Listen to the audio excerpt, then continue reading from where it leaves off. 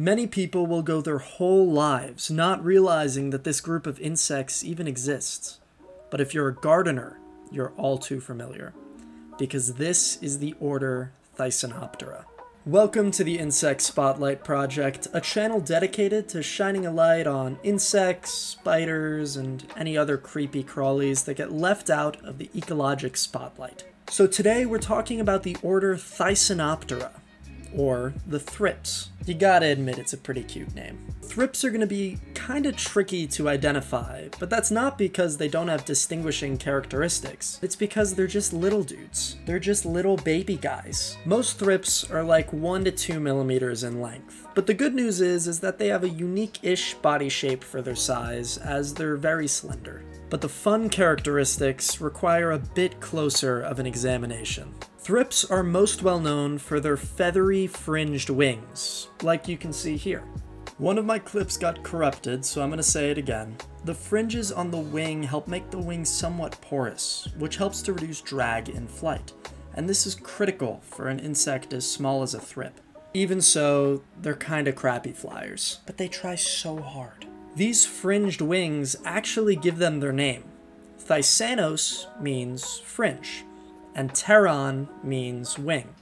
So Thysanoptera means fringe-winged. Another interesting trait of Thysanoptera is they have a very unusual life cycle. Thysanoptera are technically hemimetabolous, which follows a three-stage life cycle from egg to nymph to adult.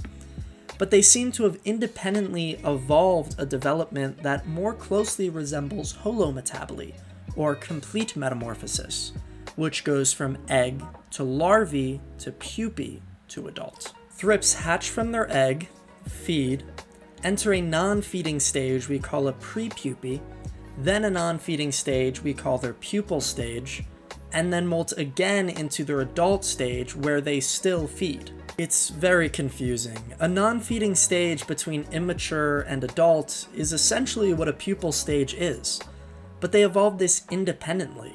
And also they have two non-feeding stages instead of the usual one, so it's kinda just their own thing. Also, their immature stages very closely resemble their adult stages, just like in other hemimetabolous insects. Because of this, some people refer to their immature stages as nymphs, while other refer to it as larvae. So pick which one you want, I won't judge you either way. That was a mouthful. Thank you for bearing with me, but we're not done yet.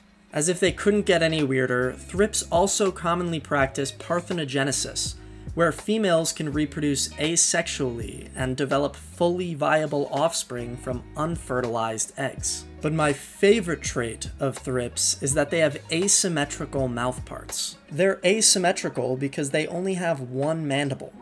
They use their left mandible to slice the outer layer of whatever they're feeding on, and then they have sucking mouthparts to suck up the juices.